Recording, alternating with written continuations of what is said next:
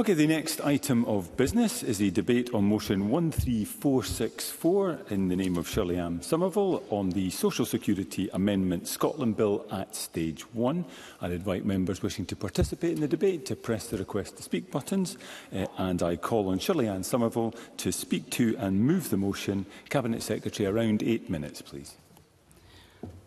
Thank you very much, uh, Presiding Officer. Although the Chamber uh, may have cleared somewhat since uh, the last statement, I would like to thank all those that are staying um, back and will contribute uh, to this debate, because it is a very important, although technical, debate when we look at the development of the Social Security Amendment Scotland Bill. Uh, I'm very grateful for the very productive contributions that uh, have arisen from the Parliament's scrutiny provided by the evidence given so far by our very knowledgeable and engaged stakeholders. And that has added, of course, to the engagement that we already undertook as a government, the co-facilitated events and the work with people on our experience and client panels. The bill is part of the ongoing development of our radically different social security system of which we can be rightly proud built from the ground up and delivering 14 benefits, seven of which are only available in Scotland. The bill maintains our person-centred, rights-based approach where people are treated with dignity, fairness and respect. Now, we recognise that it is important that we continuously seek to make improvements which build on that track record of successful delivery as our experience grows. And this bill will enhance the Scottish system of social security in line with our social security principles set out on the face of the Social Security Act 2018. Those principles were supported by the entirety of the Scottish Parliament and the principles that are particularly relevant to the bill today are around opportunities being sought to continuously improve the social security system in ways which put the needs of those who require assistance first – and the so Scottish social security system is to be efficient and deliver value for money. The bill will improve the experience of people using Scotland's social security system and ensure that it continues to deliver value for money. And in particular, it will introduce new rights for people, save money by increasing efficiency, improve the scrutiny of social security, take powers to improve existing benefits and introduce a power to create assistance for people with care experience. The bill represents an essential collective investment in a system from which we need, all need help, expected in time to generate savings of around £3.5 billion each year. I'm very grateful to the convener and all the members of the Social Justice and Social Security Committee for the work it is undertaking in producing the Stage 1 report. And I'm similarly grateful to the Delegated Powers and Law Reform and Finance Committee for their respective contributions.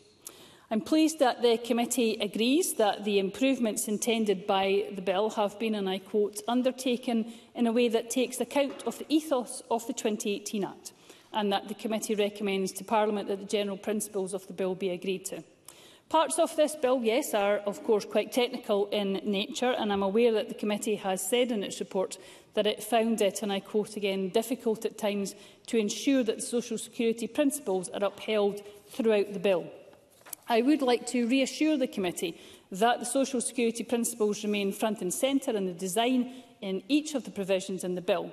In this technical context, that sometimes required striking a careful balance between principles, but I am often confident eh, that the balance has been achieved. I'm aware that particular concerns have been raised around the provisions at Part 6 of the Bill, and I want to be clear on this point. Nobody will lose their entitlement simply as a result of failing to provide information for an audit exercise. The provisions in the bill compare very favourably with the approach elsewhere in the UK, where simply failing to respond to a request can result in benefits being terminated. Now, the powers being taken at Part 6 are required to identify trends in caseloads to support effective audit processes, not to identify specific instances of benefit fraud. Any fraud which is detected during an audit exercise will be dealt with through existing tools and processes which have been agreed by the Parliament. The provisions contain a number of safeguards intended to avoid unnecessary intrusions. They take a power to make regulations which will exempt some groups entirely from participating. Those not exempted will have an opportunity to ask to be withdrawn from the sample where they have a good reason anyone participating in the exercise will have the right to an advocate or a supporter, and the powers to suspend an award of assistance will only be exercised as a last resort. An award will only ever be suspended where multiple attempts to obtain the information through a variety of communication channels have been unsuccessful. I am, however, alive to the concerns which have been raised, and we have taken concrete steps to address them on the face of the bill. I note that the committee welcomes our undertakings to amend the bill at stage two to require a public consultation in advance of making the regulations under Part 6 and to require the sending of those regulations in the Scottish Commission on Social Security for scrutiny. We are happy to continue our engagement with stakeholders to ensure that any processes designed to implement the provisions centre around those values of dignity, fairness and respect.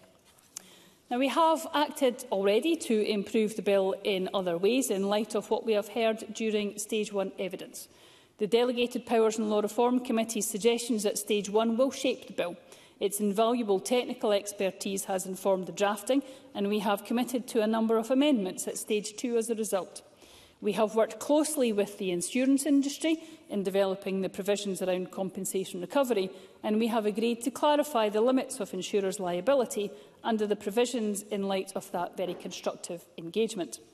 We have listened to stakeholders who have called for the introduction of late applications in exceptional circumstances, and we will bring forward an amendment at stage two to ensure that Scottish social security remains as accessible as possible. We have continued to work closely with the Scottish Commission on Social Security since the bill was laid in order to ensure that we continue to make the most of their very important eh, make the most of their important contribution to the Scottish system of social security and we've agreed with its board to expand the range of regulations subject to its formal scrutiny by way of an amendment at stage 2. Presiding officer, in closing, I would suggest that the support in this chamber for the social security principles remains strong. I have spoken to the ways in which the Government has sought to work constructively to improve the legislation in light of the valuable contributions made so far, and I, of course, stand ready to continue that dialogue both with members of the Chamber and our stakeholders as we move through this process. So I would urge members to support this bill in order that this important set of improvements can be taken forward, ensuring that this very vital public service remains robust in future playing its part in this government's ongoing missions to reduce child poverty and to ensure sustainable and excellent public services. And I move the motion in my name. Thank you, Cabinet Secretary. I now call on Colette Stevenson to speak on behalf of the Social Justice and Social Security Committee. Ms Stevenson. Uh, thank you, President Officer. And on behalf of the Social Justice and Social Security Committee, I am pleased to contribute to this debate on the Social Security Amendment Scotland Bill. I would first like to thank the individuals and organisations who took part in the committee's call for views and attended meetings to inform our scrutiny. This bill, which continues the journey to build, enhance and continuously improve Scotland's social security system, was introduced by the Government to make changes to the Social Security Scotland Act 2018 which established the devolved social security system. And as the Cabinet Secretary highlighted, the principles of the 2018 Act include that opportunities are sought to continuously improve the Scottish social security system in ways which put the needs of those who require assistance first, and that the Scottish social security system is to be efficient and deliver value for money.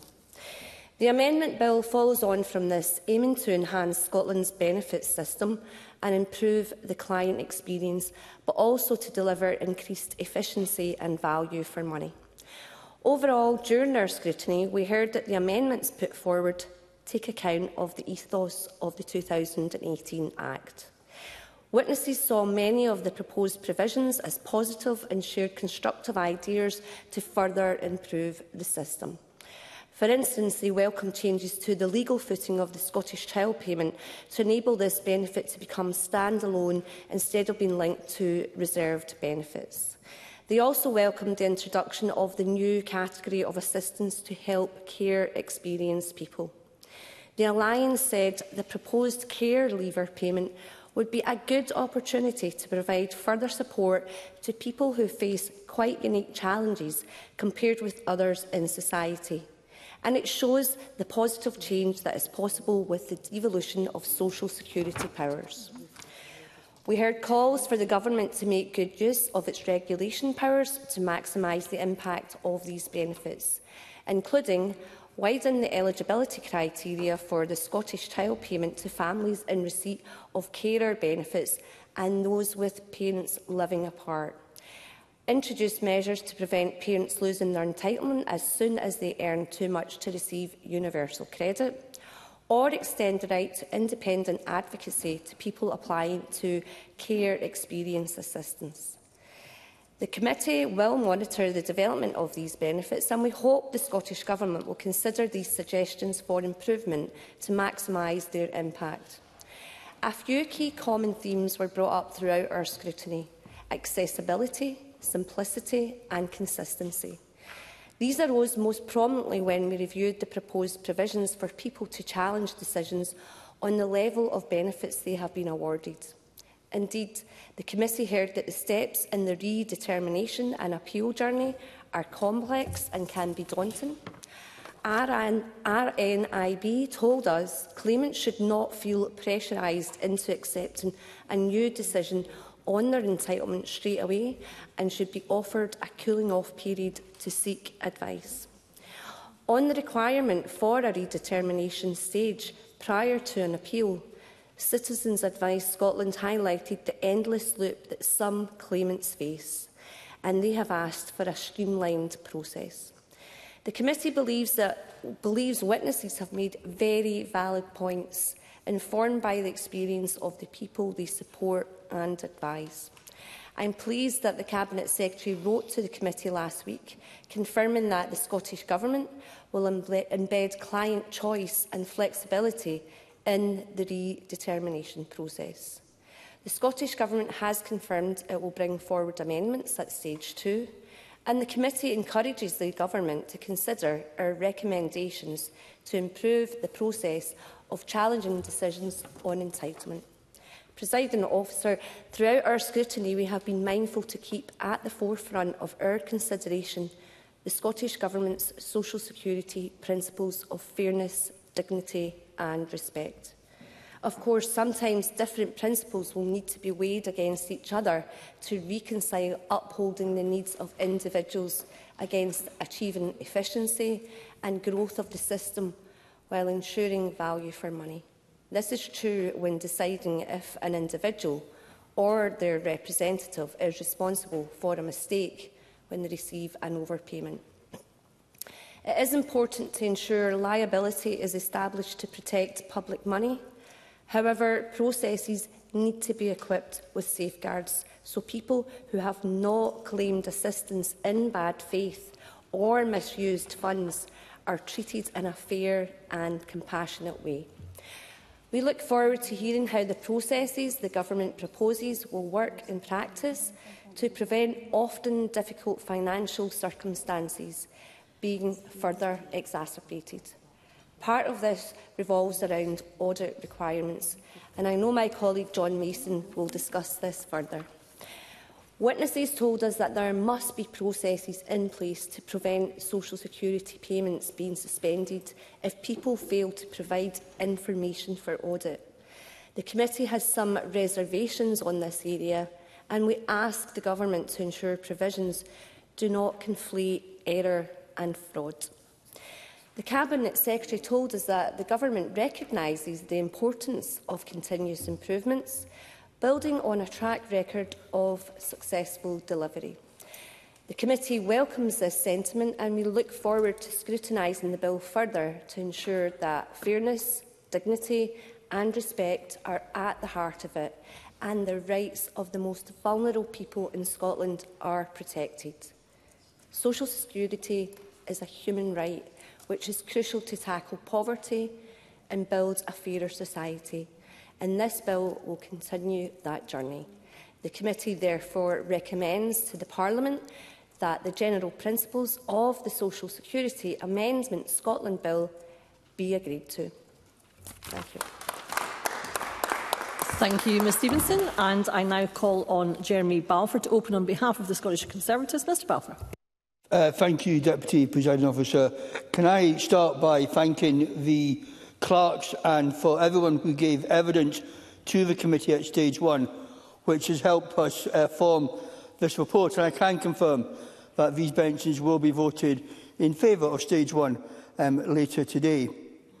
Uh, eight years ago, Social Security was devolved to the Scottish Government and to this Parliament. It was a hopeful time when we'd have a fresh opportunity to create a uniquely Scottish system. This system will be well equipped to address the specific issues of poverty that we have here in this country. It was a chance for decisions to be made at a local level by local people. Unfortunately, eight years on, we haven't done what we hope to achieve. We have a system that is basically a carbon copy of DWP system in every way, other than the efficiency and price tag Social Security Scotland had been administrating a system that has slow processing times, high level of complaints and a very high number of applicants being denied. I think that the Chamber will agree that this is not showing dignity, fairness and respect to those in Scotland who need our help. For Mr Mason, absolutely. John Mason. Uh, I thank the member for his generosity. I mean, would you accept that we are now spending something like £1 billion more on social security than would be the case from a eh, direct consequential? So that does say something positive about the Scottish system. Chairman Balfour. Well, what the system has done is that we have simply, uh, we, we have given a couple more benefits, but the process behind it is identical to that that what is at Westminster. The government like to hide behind the mantra of safe and secure transition. Uh, we as opposition politicians have bought into it, the third sector have bought into it, those who are claiming benefit have bought into it. But we are now at the point where that excuse no longer flies. We've had an, almost a decade to make the transfers. Now is the time for us to take responsibility and for the government and for this parliament to shape where it sees Social Security going in the next decades.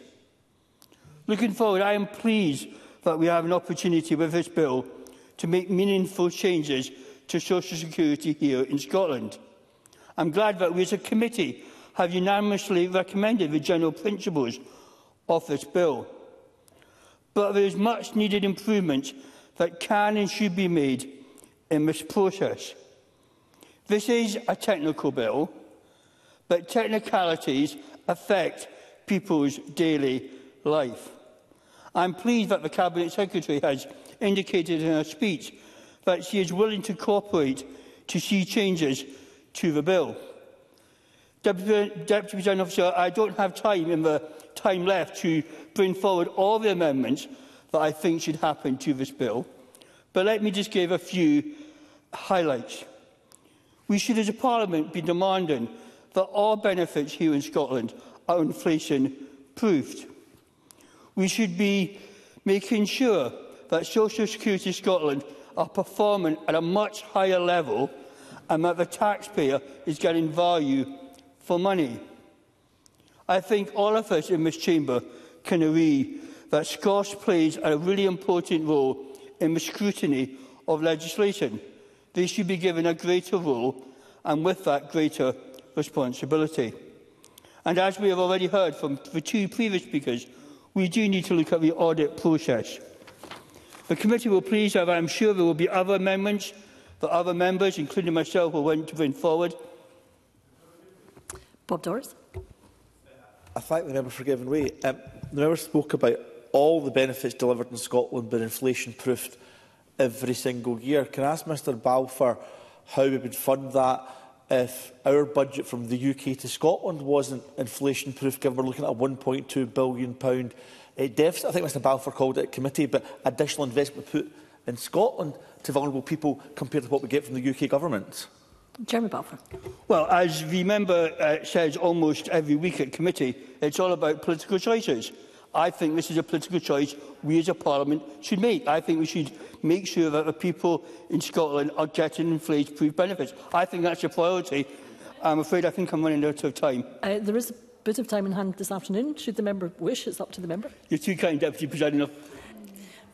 I'm very Secretary. grateful, Presiding Officer. I'm, I'm, wondering if the member would also support um, the DWP actually doing exactly the same. Uh, that way we could have parity in the systems and everybody increases it. Otherwise, this is a call on the Scottish Government that he's not willing to make on his own party. Jeremy Balfour. Well, I, I think we have seen that the DWP have done that. As I've already mentioned, President Officer, this bill presents us with a welcome opportunity to make a real difference in the lives of the poorest in Scotland. To some, this exercise can seem tedious, technical and boring. On the contrary, the decisions that we make during this process can make a real difference to real people's lives. They can speed up processing times, increase accountability of Social Security Scotland and actually move towards the system that was envisaged back in 2016 that really treats people with dignity, dignity fairness and respect. This bill is very important and we on these benches are ready and willing to work constructively with others in the chamber to work to ensure that it can have the maximum possible impact on the lives of those who rely on social security. After all, it's the least we owe them. Thank you. Thank you, Mr Balfour. And I now call on Paul O'Kane to open on behalf of uh, Scottish Labour. Mr O'Kane. Uh, thank you very much, Deputy Presiding Officer, and I'm pleased to open this debate on behalf of Scottish Labour and to confirm that we will be supporting the general principles of the bill at decision time today. And at the outset, I think it's important that we acknowledge uh, the principles of the bill, which are uh, to improve the experiences within Social Security Scotland and indeed to ensure value for money within the system and that the system is uh, an evolving uh, process and, and not something that is, that is stagnant. And I think you know, we would start by welcoming many of the actions within the bill, which will, for example, ensure that statutory footing for the Scottish Child Payment and indeed develop the framework for uh, new new benefits like care experience uh, assistance. And we will support um, changes to our social, social security system uh, in Scotland that continue to support people to live in dignity and free from poverty, because I think that is the aspiration that is shared uh, around the Chamber today. Of course, it's no secret um, that I have uh, and my colleagues have often been persistent in our critique and uh, holding the government to account uh, for many of the challenges that have uh, been experienced in the rollout of social security in Scotland. Um, five years since the creation of Social Security Scotland, and of course there have been uh, a number of issues, uh, including overspends on IT infrastructure, um, the unacceptably long processing times on claims for many benefit payments, uh, and long waiting times indeed for clients who have been calling Social Security Scotland. And of course we have recognised in this chamber that tragically long waiting times have meant over 100 people dying uh, whilst waiting for their claims on ADP to be processed, denying them um, those payments that they were uh, entitled to. So I do think it's clear to me that there are many lessons to learn, many improvements we can make, and we will continue to scrutinise every detail and action of the Government and the relevant bodies uh, in the devolved social security system as those continue uh, to evolve and develop. And Eh, of course, in the vein of um, being constructive in terms of my criticism and in terms of the, the partnership working, which I think the Cabinet Secretary sought to uh, aspire to in her opening, I would want to highlight, um, I, I think, the successes of Social Security Scotland as well. Certainly, the Scottish Child Payment has, of course, been a, a welcome evolution in the landscape, and we, on these benches, have been proud to support it through its inception and, indeed, its development. And recently, the Social Justice and Social Security Committee have been taking evidence on, on its impact. And I'm pleased to see those qualitative reports uh, in terms of the impact it's having on some families, whilst recognising, of course, that there are calls for, for caution still on the quantitative, quantitative analysis from Joseph Rowntree Foundation and others, who point out that we still do need more data. And I know and I hope that the Scottish Government has heard those calls for better data so that we can always continue to scrutinise and make improvements in the system. And of course, I hope that the Cabinet Secretary will be able to say something uh, in her concluding around um, the improvements we can make to the Scottish Child Payment, um, because, we, as I've said, we welcome the statutory footing. But I think it would be good to understand what further work um, the Government are doing uh, as we move to that, uh, that statutory footing indeed. And I think that also goes for any potential new benefits, such as the care experience assistance, uh, to get a sense uh, of uh, where the Government would be uh, consulting potentially in the future uh, and what plans they have to develop develop uh, that benefit.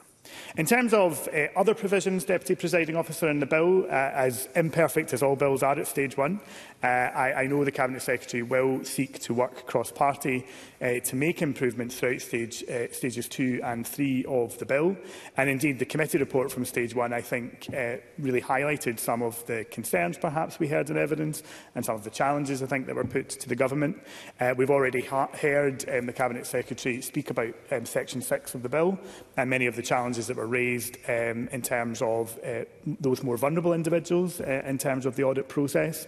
So I think it is welcome to hear that the government has taken cognizance of, of that evidence that was heard and uh, will continue to work as the bill progresses to ensure that we improve those provisions.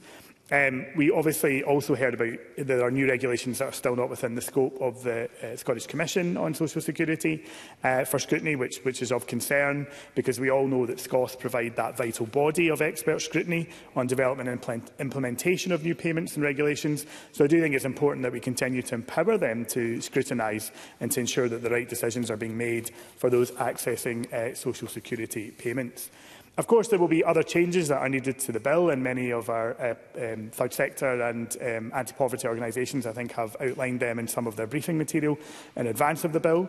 Um, and I know that the Cabinet Secretary and her officials are also uh, having their thoughts on amendments that are required. So it would be helpful, certainly, to know the direction of travel and areas of priority for the Government as soon as possible in order that we can uh, work together To draw my remarks to a conclusion, Deputy Presiding Officer, Scottish Labour will engage with all ideas for this bill that can further enhance social security in Scotland to ensure that it actually will live up to that promise of dignity, fairness and respect.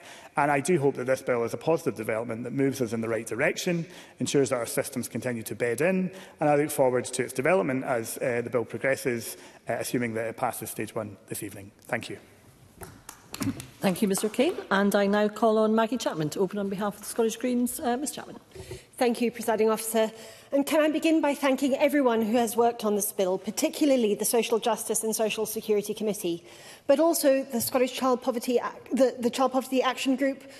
the Poverty Alliance and the Law Society of Scotland for their briefings for this debate and for the ministerial statement earlier today.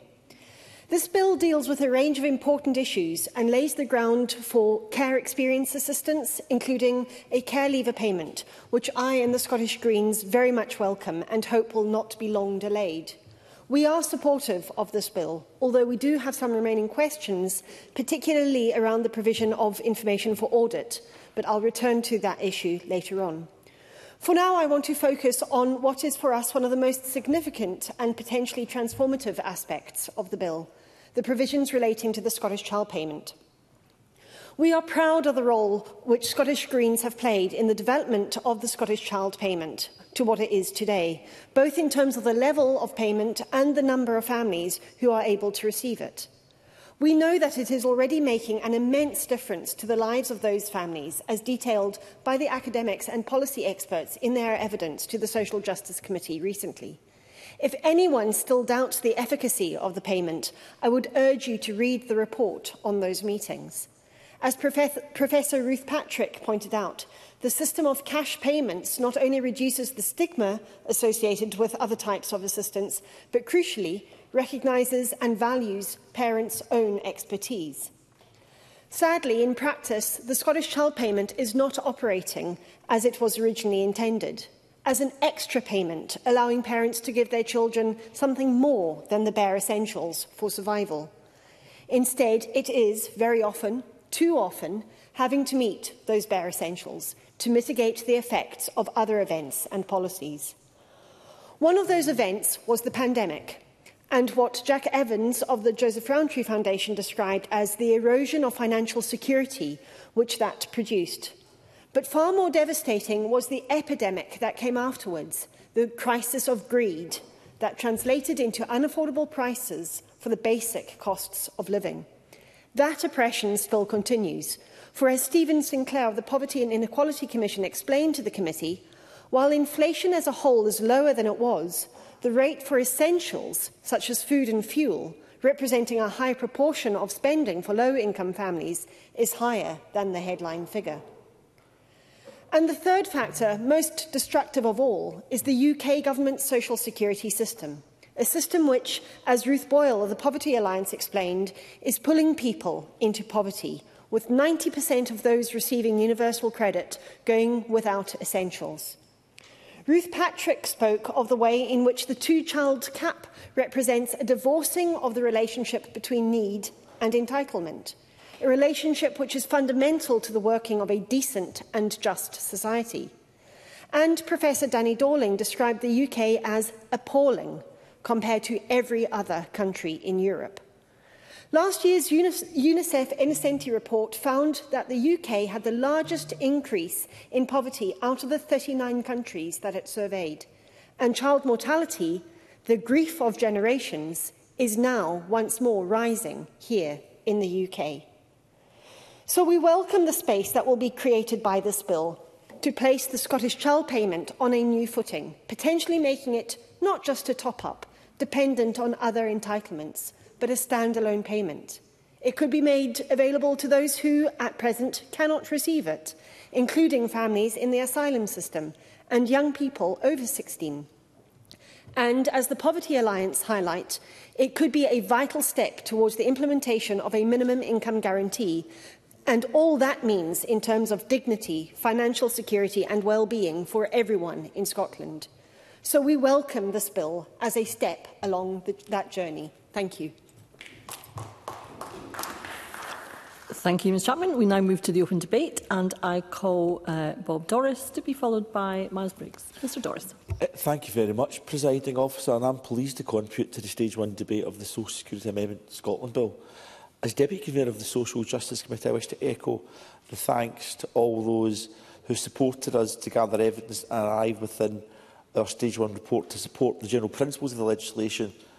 before us this afternoon, echoing the, the comments of our committee convener, Colette Stevenson.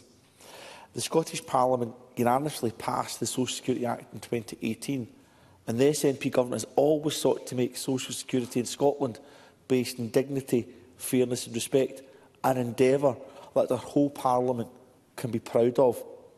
And I believe that is absolutely true of one aspect of this bill, which sets up a legal framework to allow new benefits for care experienced people and for families with children.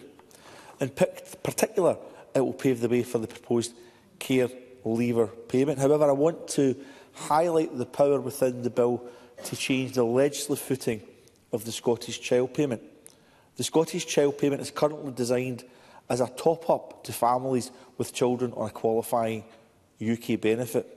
For instance, it addresses the lack of adequate financial support for struggling families on universal credit from a UK government. It does so without a two-child limit or a rape clause. And we should be proud that this Scotland-only benefit is keeping 100,000 children out of poverty.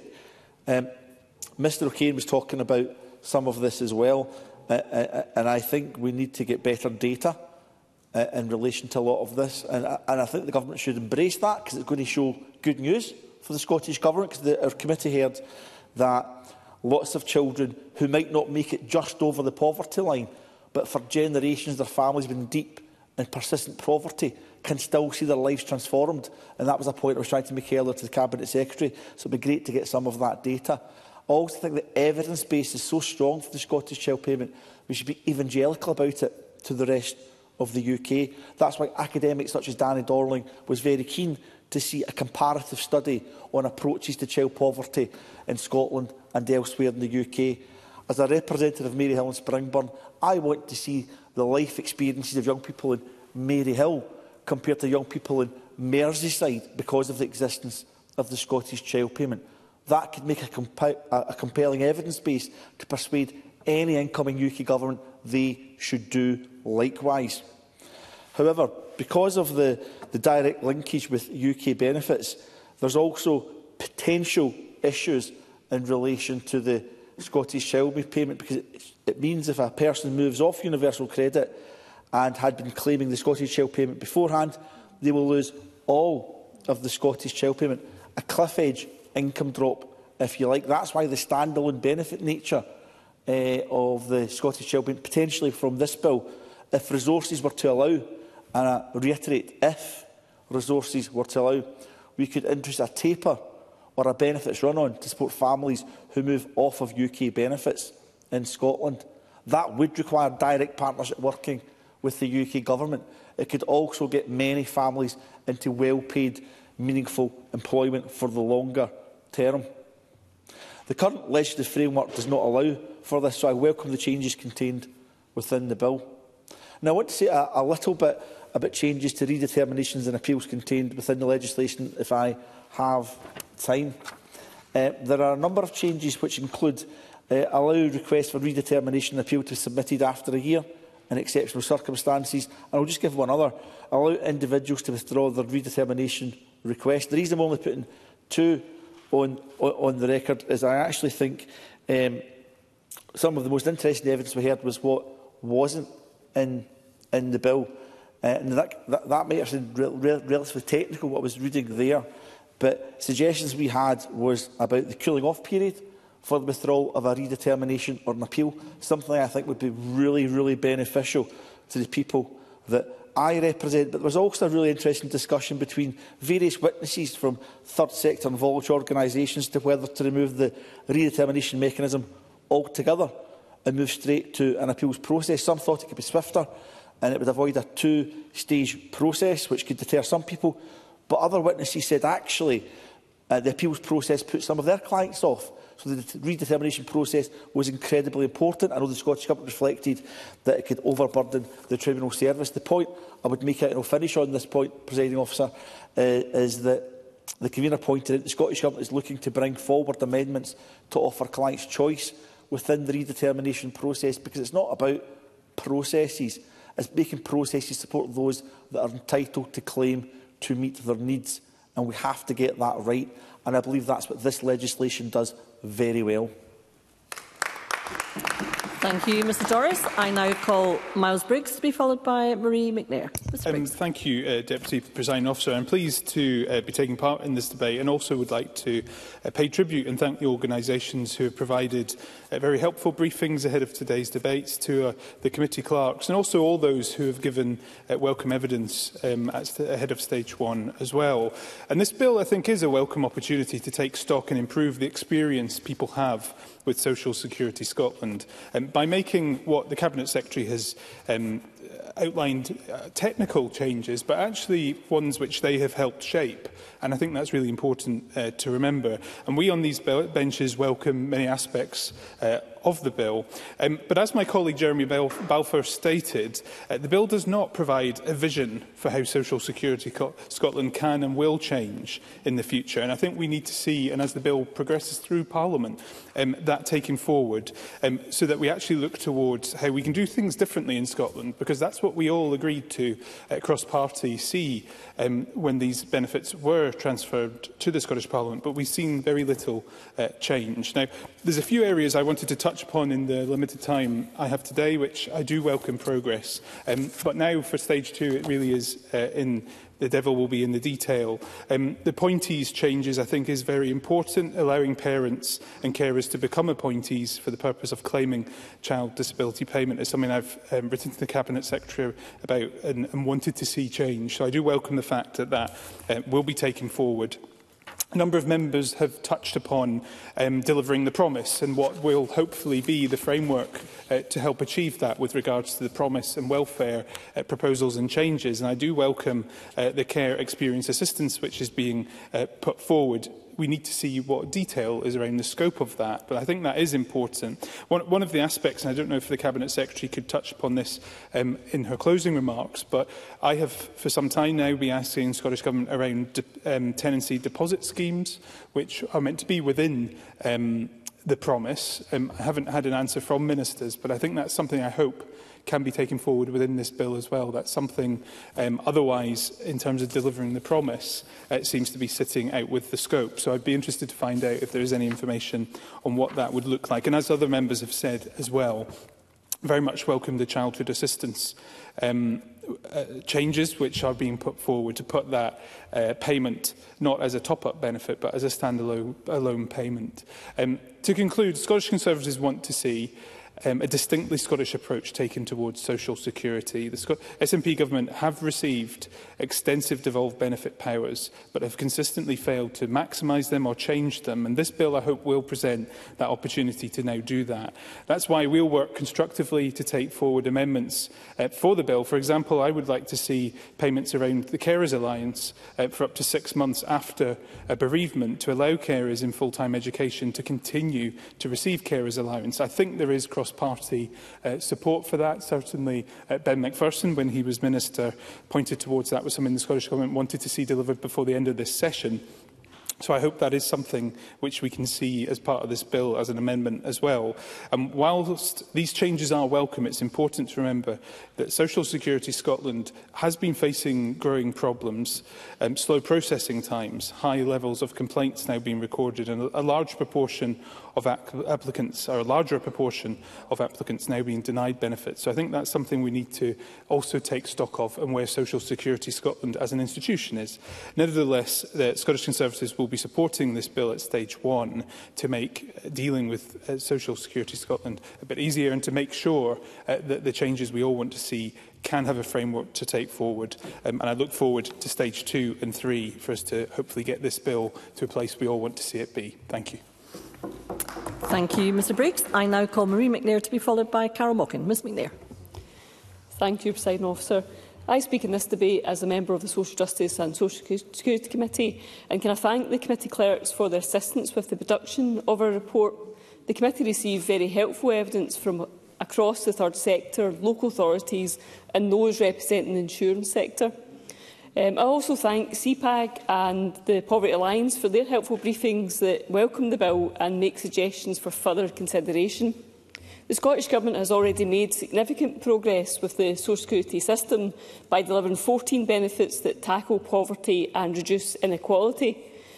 But we can always, all, always make improvements, and that is what the, the bill aims to do. The bill's main policy objective is to enhance the social security system in line with the principles laid out in the 2018 Act These principles underpin our social security system to ensure it is a system based on fairness, dignity and respect. And in particular, the principles which require that opportunities are sought to continuously improve the Scottish social security system in ways which put the needs of those who require assistance first and advance equality and non-discrimination and that the Scottish system of social security is to be efficient and deliver value for money.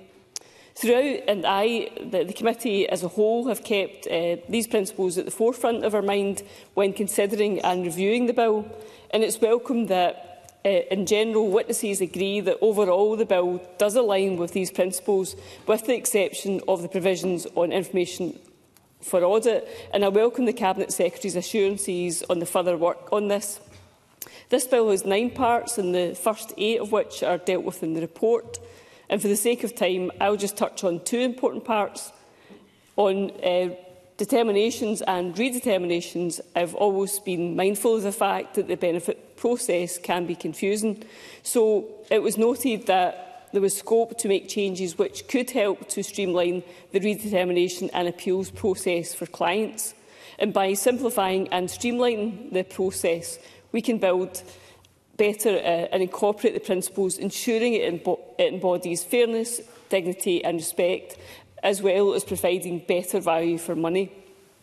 The committee would, however, ask that the Scottish Government consider suggestions made by witnesses, including on creating consistent deadlines for re redeterminations, removing the need for error to be identified before an appeal can be lapsed, and providing that cool-off period for withdrawing requests for redetermination and appeals, and removing the need for a redetermination stage after an appeal has been lapsed. Uh, due to COVID-19, provision was introduced um, allowing for late applications, and of course this is no longer needed. But however, it flagged important points around greater flexibility um, for the need to, uh, to deal with late applications.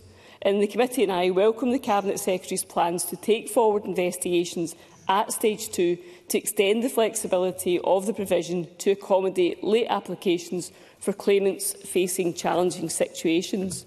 We would also appreciate the Cabinet Secretary considering whether further provisions for backdating could also be looked into. Overall, it's felt that this amendment has been undertaken in such a way that takes account of the ethos of the 2018 Act while considering developments in the social security system. It was at times hard to ensure the social security principles were upheld, so the committee and I welcome further reassurance that the core principles of fairness, dignity and respect are at the heart of the provisions, including regarding information for audit. However, I'm glad that the, committee supports the general principles of the bill and I welcome this as a step forward in ensuring our social security system meets our high standards and principles of fairness, dignity and respect.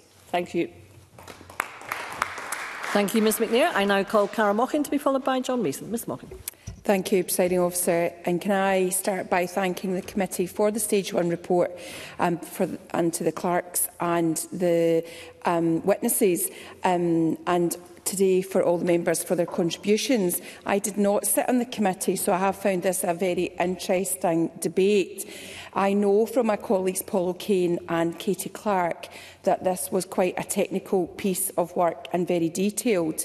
Um, the, the, the the, the, the way in which uh, this has to progress. A lot of the technicalities, however, are very meaningful to our constituents on the ground and the people who rely on social security. We all know that social security provision is the cornerstone of a society that cares. And of real interest to me is that we do know that one in four children in Scotland are currently growing up in poverty. poverty and we need uh, solutions to ensure children have a fair chance to live free from hardship and with opportunities. And we need a good social security system to allow children and families to have an opportunity to flourish. And if we can do this for children and families, the ripple of this helps right across society. I hope, and I think I've heard today, that all members agree this. Um, we may all at some point rely on the welfare state uh, some point in our life. And so this is a really important uh, contribution in the Chamber today. As someone who didn't sit on the committee, the general aims of the bill were very worthwhile uh, for me to review, enhance the, so the Scottish system of social security, including to improve the experience of people using the services provided by Social Security Scotland, deliver increased efficiency and value for money, implement the findings of an independent review into the remit and operation of the Scottish Commission on Social Security and, of course, revoke the emergency provision from the 2018 Act at the height of COVID. These are, of course, all absolutely essential for us to move forward with the social security provision in Scotland. And the Scottish Government had stated the aim of the legislation is to create efficiencies and enhance the administration of the Scottish social security system system with a focus on measures to improve the client experience and to deliver value for money. And of course, that is what members have discussed today. As we have heard from my colleague Paul O'Kane and his contribution, uh, Scottish Labour broadly support these aims, particularly this move to ensure that the experience of users of the service um, have a better experience um, and they, they have a welcoming service provi provided in a way that meets their needs. We know that if we can support and help families find ways out of poverty, we, if we provide social security systems with a compassionate, dignified and person-centred approach, people will live in dignity and free from poverty. And the committee report certainly reflects this, and in particular point 239 towards the end of the report Many of the points raised with the committee demonstrate how changes to the system that initially at times appeared to be a straightforward could have unintended, unintended consequences to those the system is there to serve. This has made it difficult at times to ensure that social security principles are upheld throughout the bill, and I mean, a, a couple of members have mentioned that. The committee looks forward to receiving further reassurances that fairness, dignity and respect are at the heart of some of the bill's provisions, and I know the Cabinet Secretary mentioned that in her opening remarks. We know currently that there are delays in the system. Um, the government have been hesitant to take on the powers uh, over the last few years and that some costs have spiralled in the setting up of the provision of services rather than the actual services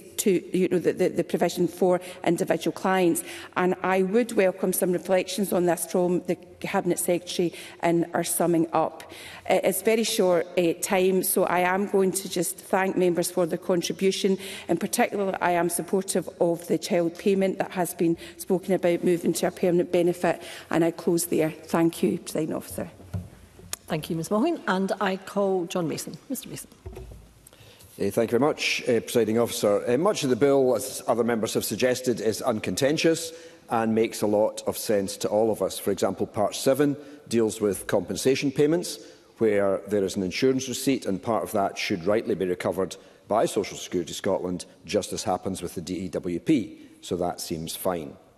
On the Scottish Child Payment, committee is currently carrying out a review and witnesses have been very positive about the impact it has made. However, there does seem to be a desire to break the link to UK benefits so that entitlement to Scottish Child Payment could be more closely linked to need. So the bill makes that possible, eh, or will make that possible, for that to happen in the future. From a financial perspective, there is expected to be a cost of some £7 to £17 million pounds in the first few years, but then savings because of compensation recovery.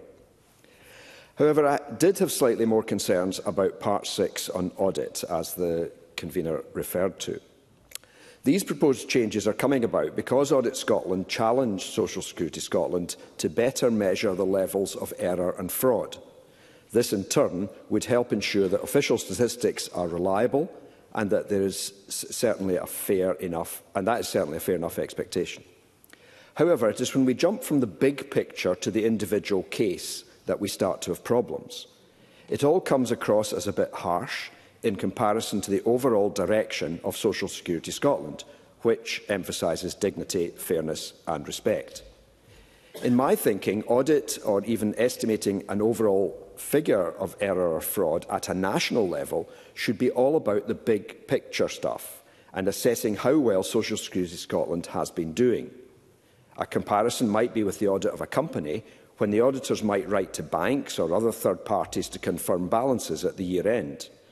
Audit is largely an administrative pro process focusing on that organisation and would not be expected to negatively impact on clients or customers.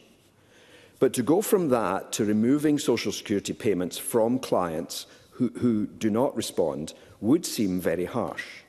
These would be people who have already gone through the system in order to receive adult disability payment or Scottish child payment or whatever. There would be no evidence that they have done something wrong, or even that they had received the wrong payment by mistake, but purely based on their refusal or inability to answer yet more questions, which they have already answered, they could have had their benefits stopped. Something just feels wrong about that.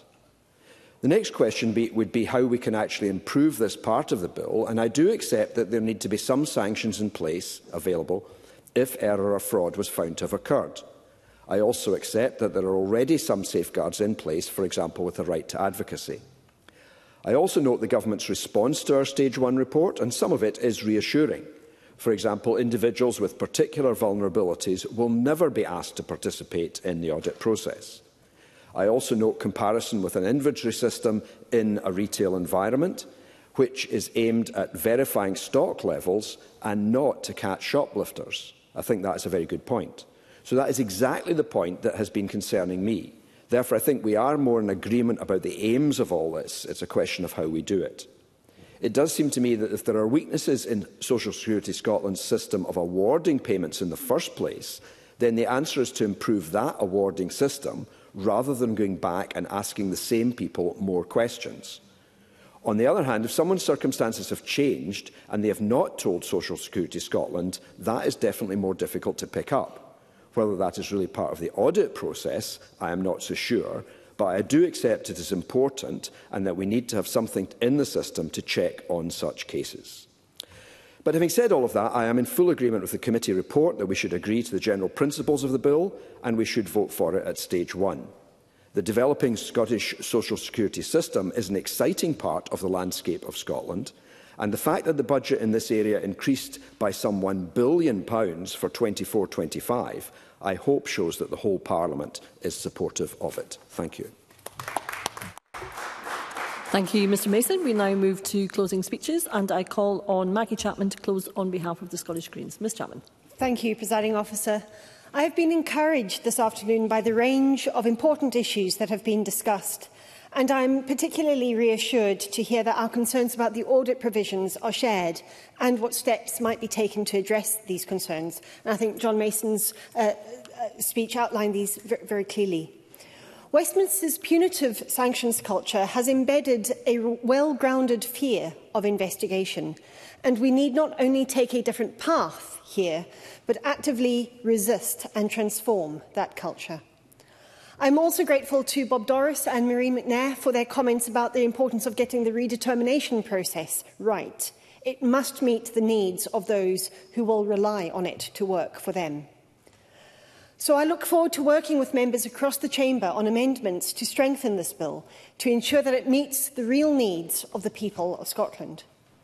As I outlined, in my opening speech, we are particularly keen to see the Scottish Child Payment expanded in terms of eligibility and level, and we support the calls by the End Child Poverty Coalition for an increase to £40 per week. We recognise that, as Dr Juliet Stone testified, the current level is not enough to mitigate the devastating effect of the two-child cap, a savage policy which it seems a substitution of Westminster government will not be enough to change.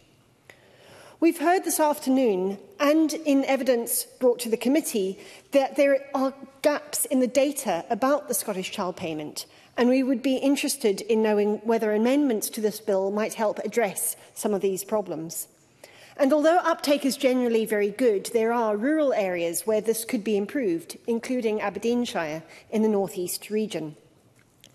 So our vision for the Scottish Child Payment and for the well-being of families across Scotland has to be ambitious, generous and transformative. As the committee heard from Danny Dorling and others, it is not enough just to nudge children over an arbitrary poverty line. We need to improve the lives of families existing just above that line too. And, crucially, we must take families out of deep poverty. We need not only to fulfil the statutory principles laid down in the 2018 Act. Yes. Bob Doris. Would the, the member accept Darren Dorling was making the point at committee? I'm delighted the members following committee so closely. Um, made the point at committee that there will be lots of people who are lifted out of deep and enduring poverty, but not above the poverty line, and it's having a dramatic improvement in their lives, but that's not been captured by the data. Maggie Chapman. Yeah, yes, I do accept that point. And, and what I'm saying is that we need to recognise that, we need to acknowledge that, and then we need to think how we go beyond that, how we do address the issues. The, the failure to improve the physical well-being of, of children who are, sit just above the poverty line. Th those issues haven't been dealt with in, in, in the last 20 or 30 years. So our vision for the Scottish Child pa Payment has to be, as I've said, ambitious, generous and transformative.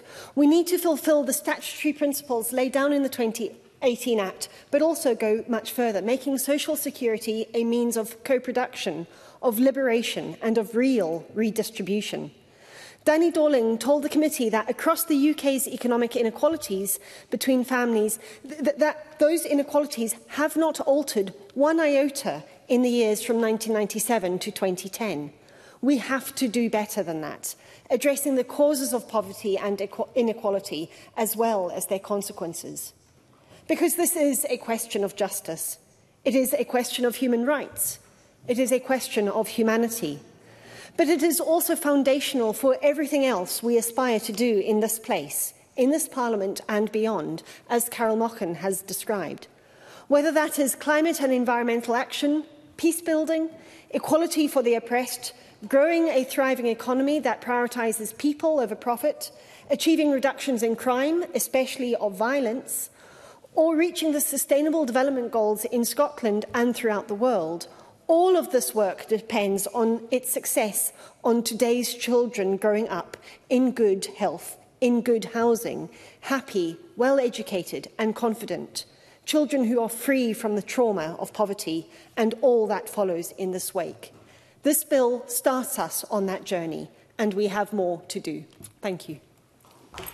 Thank you, Ms Chapman. I now call on Paul O'Kane to close on behalf of Scottish Labour. Mr O'Kane.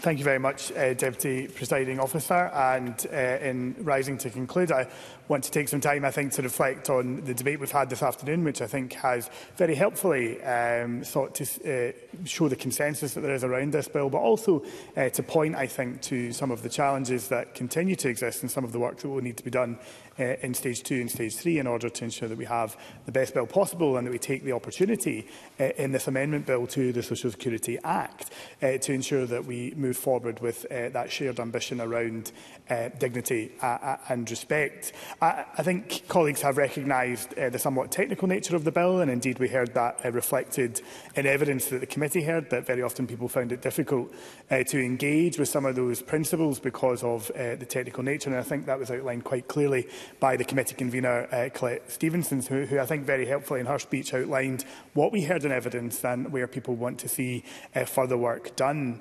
Um, indeed, I, I thought when she spoke about um, that need for accessibility and consistency that we heard from a number of people, particularly those who have lived experience of the system, I thought it was very useful to, to bring to the fore in terms of focusing our minds as we move through the stages of the bill.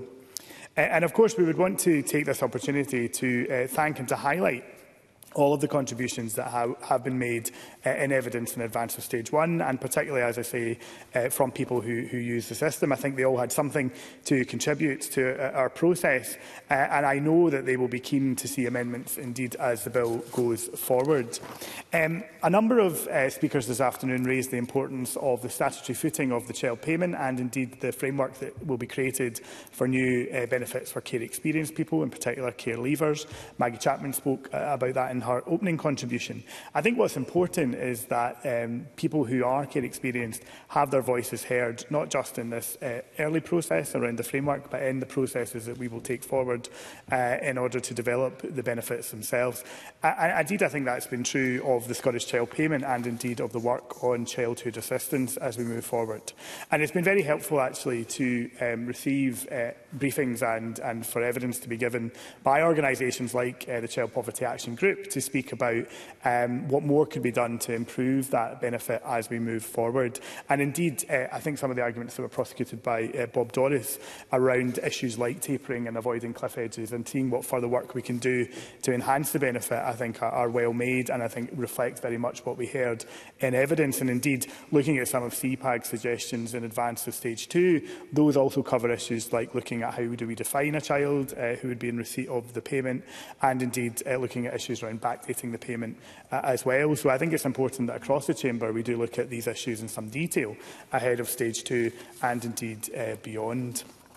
I think it's also important uh, to reflect on some of the contributions that were made in terms of issues around determinations and redeterminations of assistance. And I thought uh, Marie McNair brought to the fore some of those issues as well, again, that we heard in committee. And there are a number of organisations, I think, uh, across Scotland who have um, issues with uh, how we might uh, improve that process and to ensure that everyone is getting um, their redetermination carried out in, in an appropriate uh, and fair way. And indeed, I thought we heard uh, quite a number of important points made on uh, audit and on supporting vulnerable people to be uh, taken out from audit processes uh, and for them to be protected indeed. And I know the Cabinet Secretary will have more to say perhaps in her summing up. Uh, but in, in concluding, uh, Deputy Presiding Officer, Scottish Labour will, as I have said already, support this bill at stage one today. We see it as an opportunity to continue to push forward uh, with um, Social Security in Scotland to ensure that um, fairness is at its heart. And we look forward to the scrutiny that will come in stage two and stage three to ensure that we get the best bill possible. Thank you. Thank you, Mr O'Kane. I now call on Ros McCall to close on behalf of the Scottish Conservatives. Ms McCall. Uh, thank you, Deputy Presiding Officer. I'm happy to close the debate today on behalf of the Scottish Conservatives, and I would also like to, like to add my thanks to those of, I think, pretty much every previous um, uh, contributor to this, to uh, everybody who participated in the process so far. And as a member of the committee, I echo the comments uh, made by the uh, committee's convener regarding the valid points that were made by many of the witnesses. I think the evidence was robust and very informative. Um, has already been mentioned by the Cabinet Secretary and others. This is mainly a technical bill. But we have an opportunity with this bill to look at how we can make social security in Scotland better and we should not shy away from in-depth scrutiny of that. We should look at our processes and structures and do what we can to improve them. And I recognise the positive engagement from the Cabinet Secretary in that regard, and I thank her for early response to the recommendations from the committee. I note the points highlighted by the Cabinet Secretary, and I'm sure the committee will discuss these at length as the bill continues through the stages uh, two and three. There will be little surprise in the Chamber that I want to single out the responses on the proposals for care experience payments. I know that's already been mentioned by Paul O'Kane and Maggie Chapman. And I note the public consultation that concluded in January and that responses are currently being independently analysed. So I look forward to additional information on this coming to Parliament soon. And I also note that Who Cares Scotland currently receives funding for advocacy and support services. They do a spectacular job assisting thousands of care experienced young people and leavers every year, and I look forward to advancing this issue in detail. I'd also like to take this time just to highlight a couple of the points. I would love to do more, but time is short. I think uh, Paul O'Kane's uh, comments on the uh, 100 people dying before getting adult disability payment actually is a very stark highlight of why it is important that we make changes and continue to improve these processes. And I'm glad that that was mentioned and I think that should be highlighted. I also think it's important to uh, echo the comments of uh, Bob Doris regarding the Scottish Child Payment and the calls for fuller data collection. That was something that was very um, succinctly but forcefully put forward at committee, and I think more analysis of that is definitely essential. And I'm going to echo the comments made by my uh, friend. Um,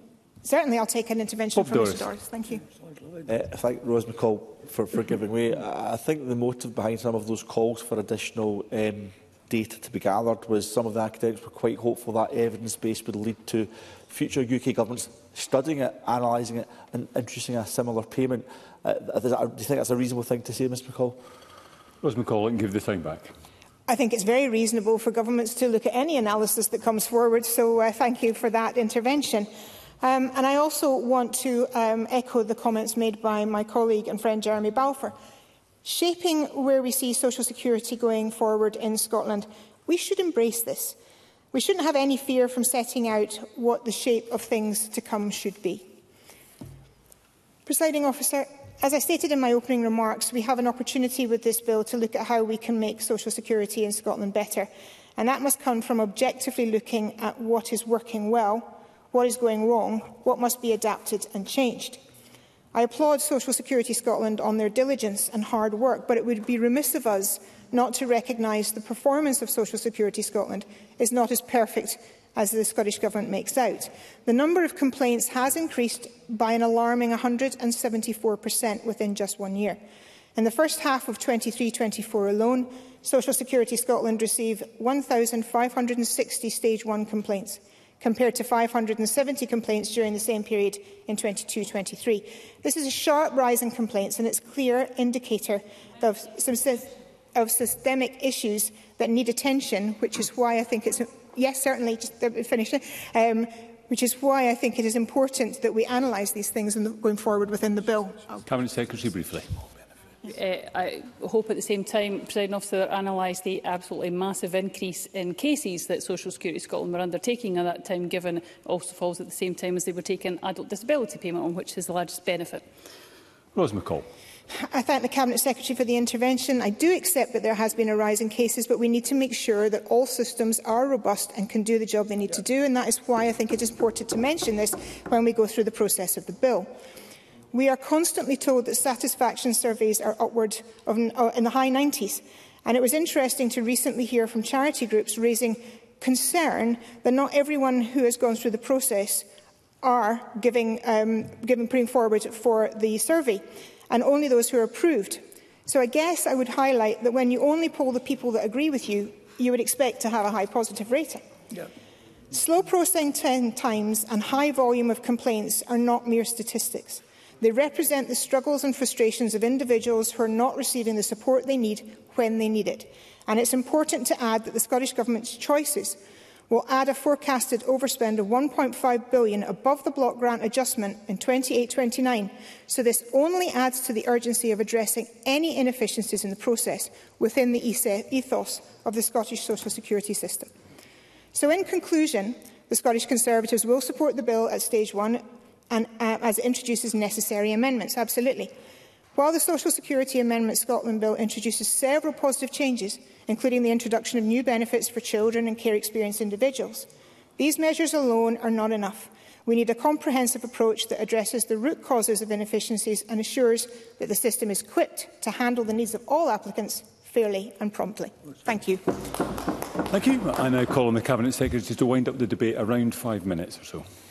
Thank you very much, uh, President Officer. And can I welcome um, today's debate and indeed the suggestions that have came from uh, a number of members across the chamber. I've already met uh, with some, Jeremy Balfour, uh, Maggie Chapman um, and others, and I believe um, we're still trying to set up meetings uh, with some others, Paul O'Kane um, and others, but I, I do uh, very much uh, look forward uh, to that. A number of members, uh, John Mason in particular, but others uh, have mentioned uh, the audit process. I dealt with that in large part during my opening remarks, but uh, I, of course, uh, stand uh, ready to meet Mr Mason and others to discuss this in particular, because I do recognise that there are continuing ongoing concerns. I do think we've tried very hard to strike a balance on this, but again, I'm more than happy uh, to work with others across the Chamber to see what more can be done. I'm going to push back little, uh, a little, President Officer, if I may, on uh, some of the narrative that's attempting to be set about social security overall, though, and I think it is important to have some context. Uh, Jeremy Balfour uh, and indeed uh, some others have suggested that the system is the same as the DWP. I have to say I'm not sure who Mr Balfour's meeting if he's getting that feedback because I recently met uh, with carers in Motherwell, uh, parents in uh, Grangemouth who talked about the real and genuine difference conditions uh, they have felt under this system because of the stress that the eh, um, agency has taken away from them and the reassurance about the support they've been given. I'd also point to the fact, of course, that Social Security Scotland is now administering 14 benefits, seven only in Scotland. We have £1.1 billion more expenditure on social security than we get from Westminster. Now, half of that, half a billion, just under, is for the Scottish Child Payment. The rest is on other benefits. That demonstrates, eh, in only the financial terms, that this clearly can't be the same system because we are investing £1.1 billion more. And one example. And it is just one small example is in the carer support payment where we've increased eligibility to those in full-time education. Uh, I would also point out to the fact that uh, when we look at the satisfaction rates, client overall rating of experience with agencies at 92% for disability benefits, much higher than the DWP. In the application process, 93% of respondents who applied said the process was very good or good.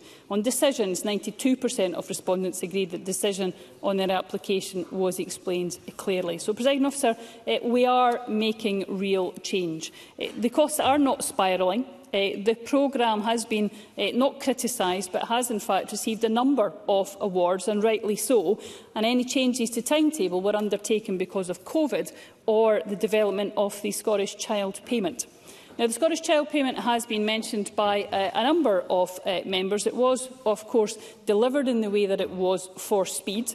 It was introduced uh, from the policy formation to implementation in 18 months. That's the fastest any benefit has been delivered anywhere in the UK. And we should be rightly again proud of that delivery within Social Security Scotland. But it is, of course, time uh, to move on and to look at a different base for that. And I look forward to working with members uh, on their suggestions, as Bob Doris rightly pointed out, within the financial reality and context that we're in, but the suggestions on what that might look like in the future. Other members uh, mentioned uh, SCOS. Uh, Paul O'Kane, for example, talks about that vital scrutiny that they've given, and I would absolutely agree on that. The bill was based on an independent um, review, but as I said in my opening remarks, we're very keen to empower uh, SCOS. I think we all benefit uh, from its deliberations and recommendations, and that's why as I said in my introductory remarks, we're happy to look at the expansion of the regulations eh, that will come forward to SCOS with amendments eh, at stage two. And again, happy to discuss with members what more we can do eh, to ensure that we are given SCOS the quite right footing eh, that it should have eh, as an integral part of our system. Uh, Bob Doris uh, mentioned uh, other um, areas, including the, the cooling-off period, and indeed some other members mentioned that as well. Uh, it's one of the technical parts, one of the many technical parts um, on the bill. Um, I'm happy again to discuss this with the member. We don't feel it's needed, um, simply because clients can already resubmit, so we don't think there's a need uh, for a cooling-off uh, period. But if there's concerns there, um, then we are again happy to discuss those, see if anything can be done, or if of its further work that needs to be done uh, on reassuring stakeholders about what's already in the system and being able to take advantage to that. So I use that again, presiding officer, as an example of what we can take forward. Uh, Miles Briggs uh, mentioned um, the tenancy deposit scheme. Can I offer up Mr McClellan to have a work uh, a meeting particularly on that issue? Uh, I've already asked Mr McClellan. He would of course be delighted uh, to take up that opportunity uh, to discuss that with you. But presiding officer, this is a technical bill, as many people have mentioned, but there is a real opportunity to ensure ensure that once again we're embedding those principles of fairness, dignity and respect within our social security system. I am very proud of the system that we have here in Scotland. I'm not complacent that we um, are not in a place where there are opportunities for improvement and things that we can do better, but I hope to be able to work with members across the chamber to take that forward, whether it's in the technicalities of this bill or in our policy discussions as we move forward. Thank you, President Officer. Thank you, Cabinet Secretary. That concludes the debate on the Social Security Amendment Scotland Bill at Stage 1. Uh, it's now time to move on to the next item of business.